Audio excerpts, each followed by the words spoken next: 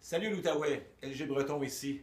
J'ai le grand plaisir de vous annoncer que je serai de passage dans la région où tout a commencé pour moi le vendredi 17 avril 2015 dans le cadre de ma tournée Strings Attached. J'aurai le plaisir de vous présenter mon nouveau matériel entouré d'un band extraordinaire.